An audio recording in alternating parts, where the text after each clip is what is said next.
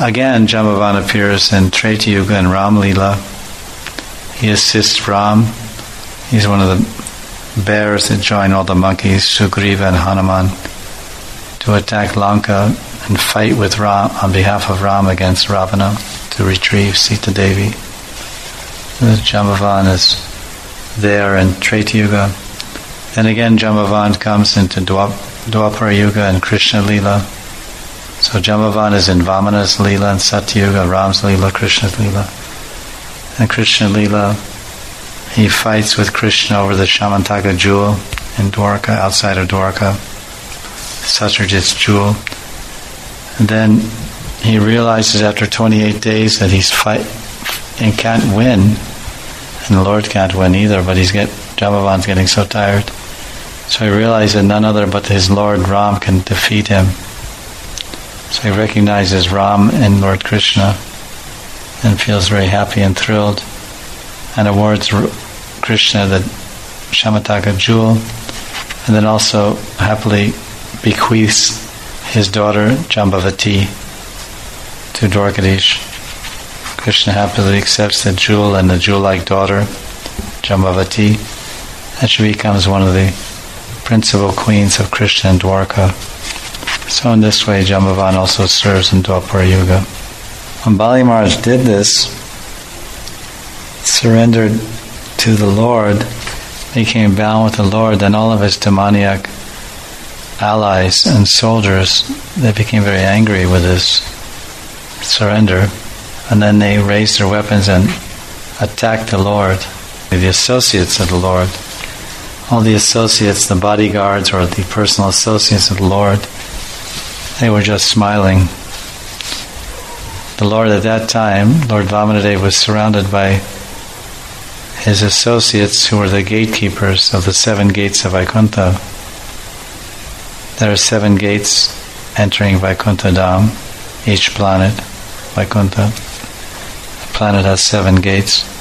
Like the old cities in India, they had different gates. If you go to Mathura, there's Holi Gate, there's Dig Gate, there are different gates there, big arches, and there used to be seven walls around the city. Or you go to Ranganath in South India, there are different gates or gopurams and walls surrounding the temple. At each one of these seven gates of Vaikuntha, there are two gatekeepers. So at this time in Indraloka, Vamanadeva was surrounded by 14 gatekeepers.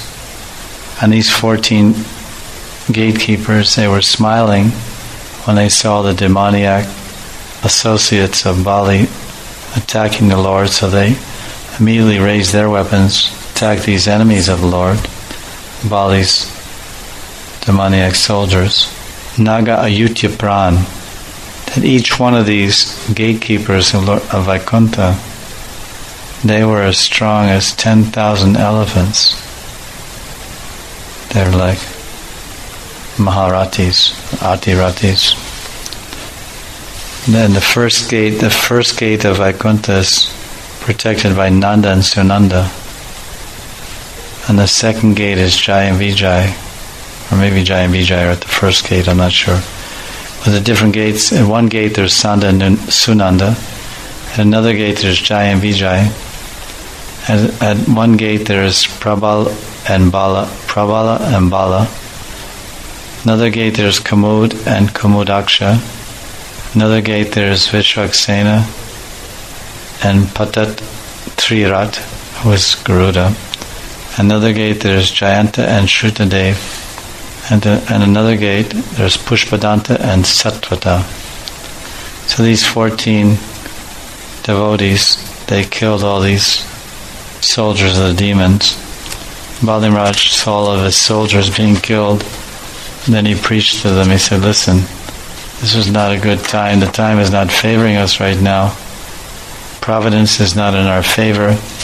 We won't be victorious here. Everyone should stop.